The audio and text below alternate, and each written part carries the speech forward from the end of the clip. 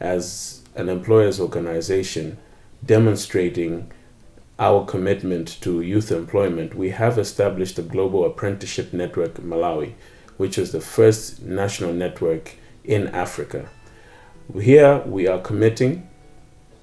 and advocating and sharing best practices on youth employment apprenticeships, work readiness programs, so that more companies, more employers are able to engage young people. It is not a new phenomenon, it is something that has been there, but all we are saying is reinvigorating the efforts, joining with other partners, exchanging best practices with other international institutions with a view to ensuring that our young people are employable or are able to become entrepreneurs and uh, and become enterprising. The GAN Malawi has a GAN committee which is comprised of some of the GAN members. Um,